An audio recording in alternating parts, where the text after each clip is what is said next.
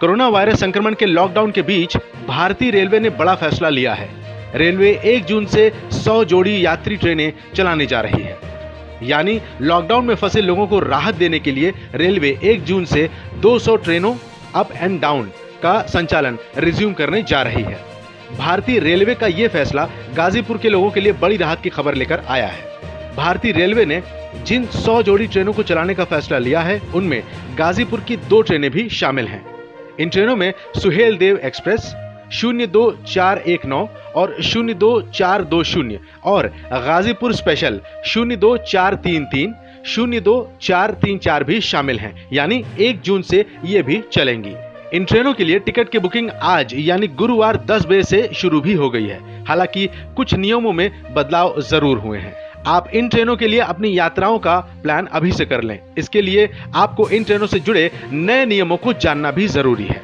इन ट्रेनों में general coach यानी कोई भी अनरिजर्व्ड कोच नहीं होंगे। मतलब ये कि बिना रिजर्वेशन यात्रा नहीं कर पाएँगे। जनरल कोच के लिए भी रिजर्वेशन होगा और लोगों से सेकंड सीटिंग 2S का किराया वसूला जाएगा। बिना सीट कोई यात्रा नहीं कर पाएगा।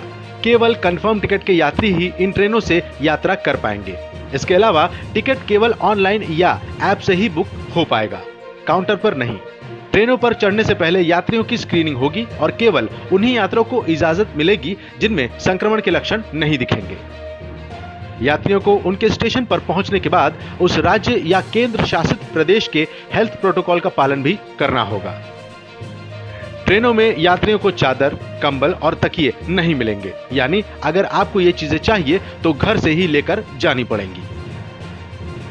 दिव्यांगजनों की चार कैटेगरी और मरीजों की ग्यारह कैटेगरी के लिए इन ट्रेनों में भी रियायत मिलती रहेगी। स्टेशन पर एंट्री और पूरी यात्रा के दौरान सारे यात्रियों को फेस कवर या मास्क लगाना पड़ेगा। यात्रियों को स्टेशन पर कम से कम 90 मिनट पहले पहुँचना पड़ेगा ताकि उनकी थर्मल स्क्रीनिंग हो सके। गाजीपुर की ऐसी ही खबरों के लिए हमारे YouTube चैनल को सब्सक्राइब करें और बेल आइकन को ज़रूर दबाएँ।